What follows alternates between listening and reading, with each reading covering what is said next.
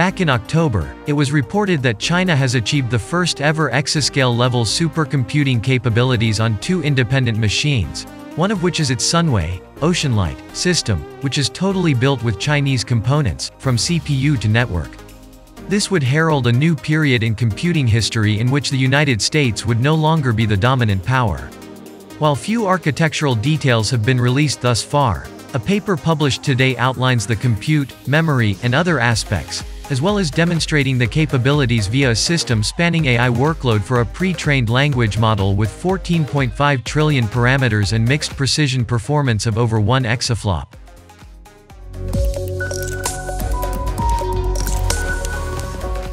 According to the article, the system contains as many as 96,000 nodes, and is based on Sunway SW26010 PRO computing units, many core with built-in proprietary accelerators, bespoke memory configuration, and a native network fabric. Although the findings of the exascale achievement utilizing the supercomputing standard, top 500 inches benchmark were validated but not published, it is crucial to remember that this brainscale task is not operating at full exascale capabilities. The standard in supercomputing performance measures a 64-bit floating point, FP64, although this work used mixed precision. The new Sunway system is capable of handling FP64, FP16, and BF16 and may switch between them during training for optimal efficiency. Even though mixed precision prevents this from being a true sustained exascale workload in traditional terms, it does demonstrate some impressive hardware, software co-design thinking, especially as the supercomputing world grapples with how AI, ML is supposed to integrate with old-school modeling and simulation. The Chinese team gives specific chip and node level information for optimizing HPC systems for AI, such as scheduling, memory, and I.O. operation optimizations, as well as a novel parallelization technique that combines parallel models and subsequently reduces computation time and memory utilization. They also created a unique load balancer and approach for efficiently exploiting mixed precision. The BaGuaLu model and optimization set enables excellent performance and scalability on extremely large models by integrating hardware-specific optimizations, hybrid parallel methods, and mixed precision training, according to the scientists. The authors, who include Alibaba personnel as well as professors from prominent Chinese institutions, go on to say that given present capabilities, a 174 trillion parameter model train is within reach. The scale and speed with which China has advanced technologically in recent years has raised concerns in Washington and elsewhere about the implications for the United States' overall economic competitiveness and national security, as well as the impact on liberal values and good governance around the world.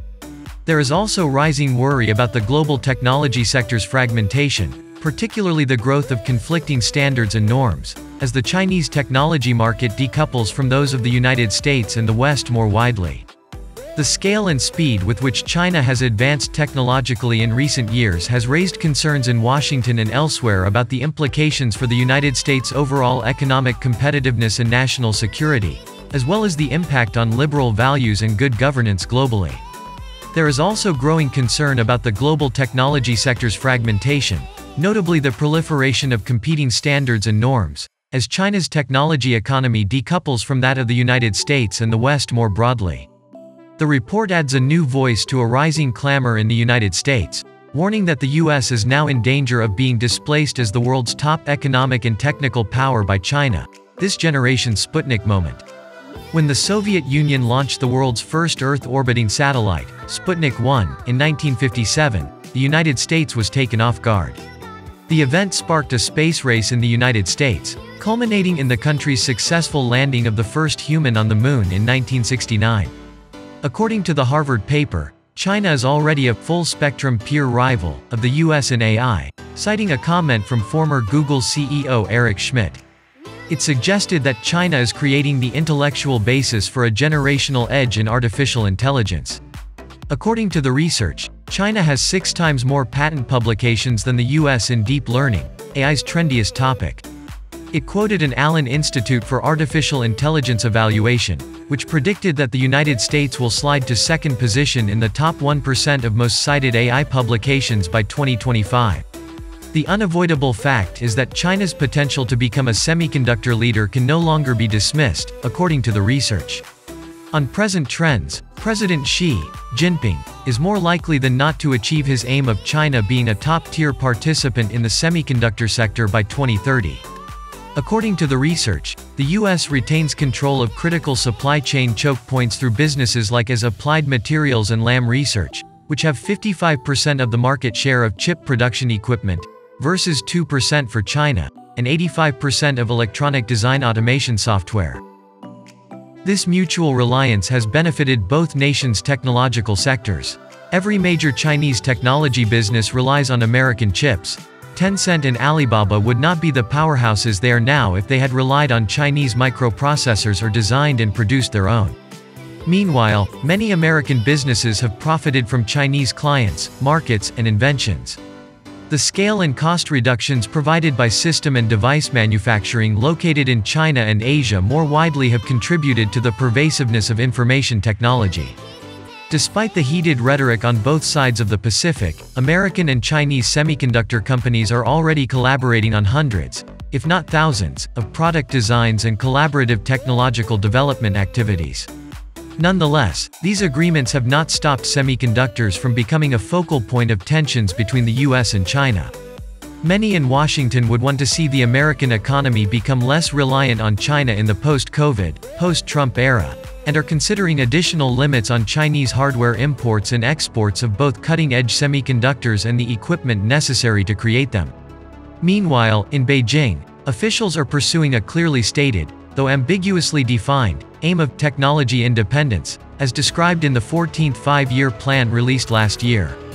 However, how to acquire such independence, and if seeking it makes sense in the first place, represents a very unsettled subject.